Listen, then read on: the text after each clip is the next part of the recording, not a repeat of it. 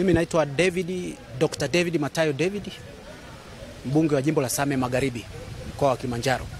Kwa kweli inasikitisha sana, ndoa nyingi sana zinavunjika na, na hasa eh, miaka ishirini iliyopita huko nyuma huko ndoa zilikuwa zivunjiki namna hii, maana sisi wengine tulikuwa tayari ni watu ambao tunajitambua, lakini sasa hivi wimbi la ndoa wa, wa, wa, vijana wanaachana sana wakioana, yani kuanzia mwezi ule wa kwanza mpaka miaka saba hapo katikati hapo, siku yoyote unasikia watu wamegombana, watoto wanataka kwenda, wasichana wanataka wa, wa, mke anataka kwenda nyumbani, yani imekuwa sasa hivi.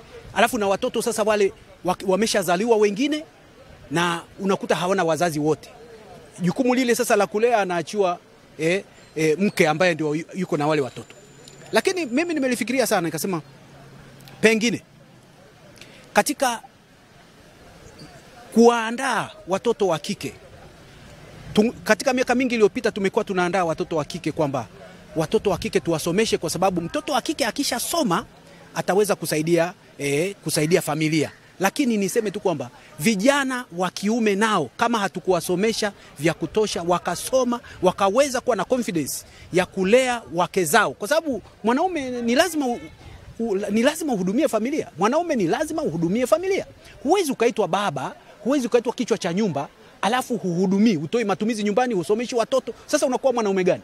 Kichwa cha nyumba ni lazima uhudumie nyumbani. Sasa kumekuwa na, na, na nasema kwamba asilimia kubwa ukishakuta ndoa zinavunjika, asilimia kubwa wanaosababisha kwa kweli ni sisi wanaume.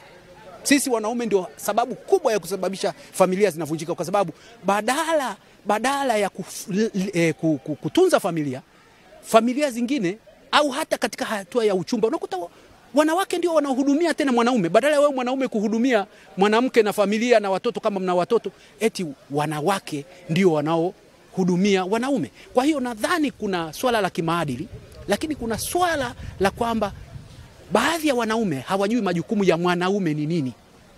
Majukumu ya mwanaume hata kwenye vitabu vya dini, kwenye misahafu, kwenye Biblia inazungumza kwamba mwanamke ni ua, mwanamke ni dhahabu, natakiwa umtunze, eh, umtunze lakini sasa hivi imegeuka, dunia imebadilika. Tanzania hapa watu wanaachana kila kukicha, wasichana wavulana wanaachana, ndoa zinavunjika kwa sababu wanaume wanashindwa kutekeleza majukumu yao kama mwanaume na kama kichwa cha nyumba.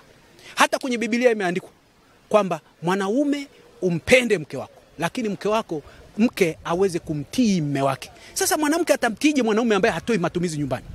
Mwanamke atamtiije mwanaume ambaye ha, ha, ha, hawi kama baba. Yani kuna vikucha asubuhi mtu anaenda kunywa pombe, au kuna vikucha asubuhi anaenda kucheza pool, anaenda kucheza ku, ku, ku, ku, kufanya vitu vya ajabu, ajabu badala ya kuhangaika kuleta matumizi nyumbani, kusomesha watoto, kujenga nyumba nzuri ili uishi vizuri na watoto, unaleta, u, unaleta u, uvivu. Kwa hiyo mimi kwa asilimia kubwa, kusema kweli, ninawalaani sana wanaume ambao hawataki kutunza familia zao, wanaume ambao hawajui majukumu yao na wanaume ambao wanataka wawe kichwa cha nyumba wakati hata matumizi nyumbani haachi.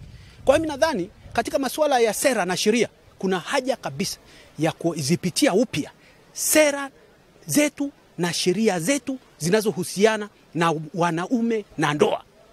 Wanaume wengi wanashindwa ndoa kwa sababu mwanamke unatakiwa umhakikishe kwamba unamtunza una, una, una, una mwanamke, unatunza watoto, unasomesha, unafanya majukumu yote. Mimi ndivyo nilivyofahamu tangu zamani na ndivyo ilivyo kawaida kwamba mwanaume ndio mwenye majukumu ya kutunza familia. Sasa kunatakiwa tupitie sheria na sera zetu, tuangalie ni wapi tumekosea, lakini vile vile ni lazima tuwahusishe viongozi wa dini na viongozi wa kimila. Kama kuna mahali ambapo tumeingiza e, tumepotea, tumepotea kidogo kwa maana ya, ya E, mila na desturi zetu.